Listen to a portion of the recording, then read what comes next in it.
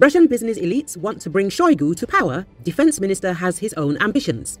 The Russian publication Verstka writes that part of the Russian elite is in favor of ending the war in Ukraine. To which extent are the voices of the so-called doves heard within the Russian establishment today?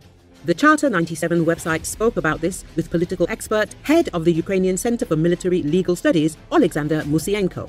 Everything is natural. If you look at the statistics, the data is quite disappointing for Gazprom, Rosneft, and other Russian companies. They are losing billions in revenue due to harsh sanctions. Sanctions are hitting the Russian economy. Nobody wants to get involved in long term projects or investments. Chinese and Turkish banks are introducing a ban on settlements with Russian counterparties.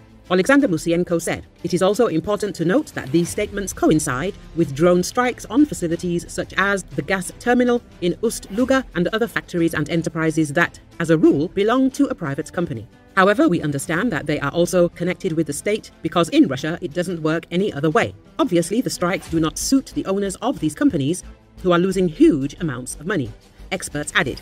There are individuals, representatives of the business elite, who are ready to enlist the support of the security forces. In this case, I think the security forces are not from the FSB, but from the opposite side, Sergei Shoigu. Try to bring Shoigu to power so that he can negotiate with Europe and the West, and withdraw troops from Ukraine.